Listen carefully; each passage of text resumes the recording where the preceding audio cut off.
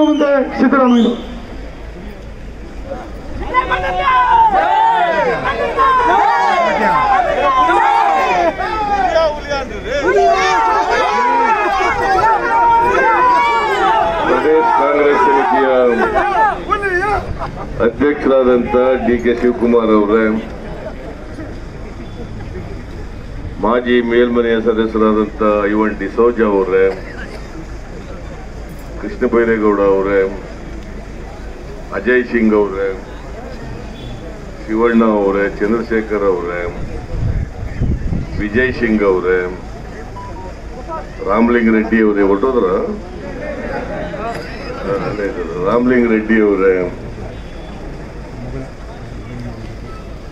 ಇಲ್ಲಿ ಆಗಮಿಸಿರ್ತಕ್ಕಂಥ ಎಲ್ಲ ಕಾಂಗ್ರೆಸ್ಸಿನ ಮುಖಂಡರುಗಳೇ ಕಾರ್ಯಕರ್ತ ಬಂಧುಗಳೇ ಎಲ್ಲ ಮತದಾರ ಬಂಧುಗಳೇ ನಮ್ಮ ಅಭ್ಯರ್ಥಿ ಸುಷ್ಮಾ ಅವರೇ. ಹೆಚ್ಚು ಭಾಷಣ ಮಾಡ್ತಕ್ಕಂಥ ಅಗತ್ಯ ಇಲ್ಲ ಅಂತೇಳಿ ನಾನು ಭಾವಿಸ್ಕೊಂಡಿದ್ದೇನೆ. ಬೆಂಗಳೂರಿನ ಮತದಾರರು ಪ್ರಜ್ಞಾವಂತ ಮತದಾರರು.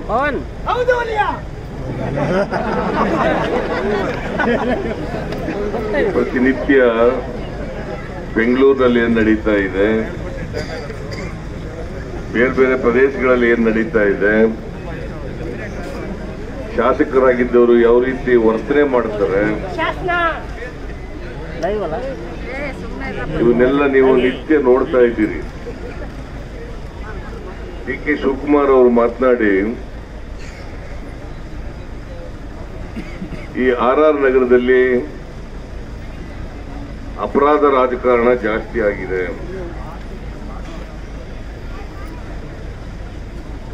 ನಿರಾಪರಾಧಿಗಳ ಮೇಲೆ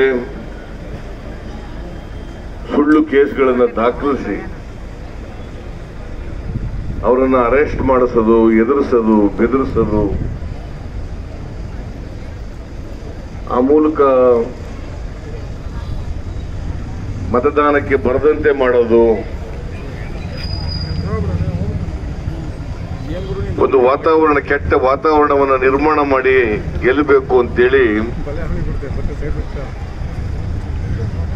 ನಮ್ಮ ವಿರೋಧ ಪಕ್ಷದ ಅಭ್ಯರ್ಥಿ ಮುನಿರತ್ನ ನಾಯ್ಡು ಅವರು. ಇದನ್ನ ಪ್ರಾರಂಭ ಮಾಡಿದ್ದಾರೆ. ನಾನು ಮೊನ್ನೆ ಹಿಂಗೆ ರೋಡ್ ಶೋ ಮಾಡೋದ್ರು ಮಾಡುವಾಗ ಒಂದು ಗುಂಪು ಬಂದು ಗಲಾಟೆ ಮಾಡ್ತಿತ್ತು. ನಾನು ಮಾತನಾಡುವಾಗ. ಪ್ರಜಾಪ್ರಭುತ್ವದಲ್ಲಿ ಚುನಾವಣೆಗಳು ನಿರ್ಭಯವಾಗಿ, ನಿಷ್ಪಕ್ಷಪಾತವಾಗಿ, ನ್ಯಾಯಯುತವಾಗಿ ನಡೀಬೇಕಾಗಿರ್ತಕ್ಕಂಥದ್ದು ನಮ್ಮ ಕಾನೂನು ಸಂವಿಧಾನ ಹೇಳ್ತದೆ. ಎಲ್ರಿಗೂ ಓಟ್ ಕೇಳ್ತಕ್ಕಂಥ ಹಕ್ಕಿದೆ. ನಿಮಗೆ ನಿರ್ ನಿರ್ ನಿರ್ಭಯವಾದಂತ ವಾತಾವರಣದಲ್ಲಿ ವೋಟ್ ಮಾಡ್ತಕ್ಕಂಥ ಹಕ್ಕಿದೆ ನಿಮಗೆ. ಇದನ್ನ ಬಲತ್ಕಾರವಾಗಿ ಕಸ್ಕೊಳ್ತಕ್ಕಂಥ ಎದುರಿಸಿ ವೋಟ್ ಮಾಡಿಸ್ಕೊಳ್ತಕ್ಕಂಥ ಅದು ಕಾನೂನಿಗೆ ವಿರೋಧ. ನಾನು ಪೊಲೀಸ್ನವರಲ್ಲಿ ಅಲ್ಲೂ ಕೂಡ ಹೇಳಿದೆ ನಾನು. ನೋಡ್ರಿ, ಯಾರೋ ಎಂ ಎಲ್ ಎ ಇದ್ದವರು, ಅವ್ರೇನು ಶಾಶ್ವತ ಕೂಟ ಹೊಡ್ಕೊಂಡು ಕೂತಿರೋದಿಲ್ಲ ಇಲ್ಲಿ.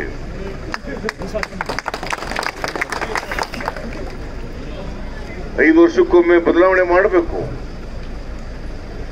ಜನರು ತೀರ್ಥ ಮತ್ತೆ ಬರಬೇಕು.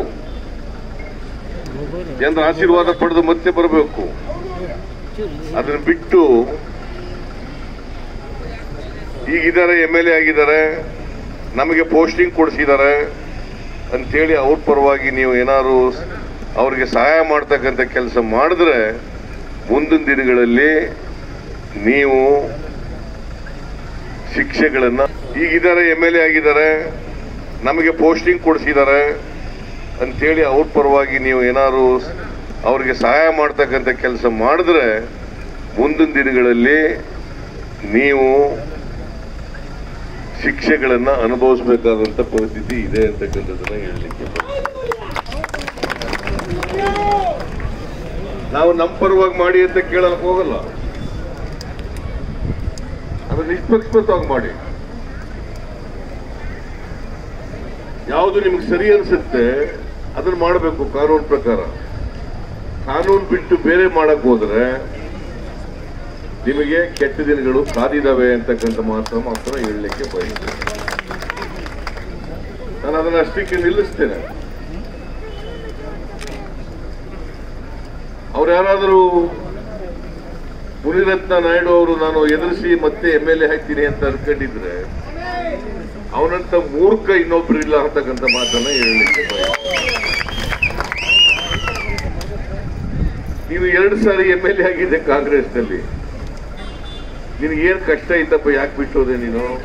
If you like this video ಬೇಗ ಲೈಕ್ ಮಾಡಿ ಕಾಮೆಂಟ್ ಮಾಡಿ ಶೇರ್ ಮಾಡಿ, ಹಾಗೂ ಯೋಯೋ ಟಿವಿ ಕನ್ನಡವನ್ನು ಸಬ್ಸ್ಕ್ರೈಬ್ ಮಾಡಿ.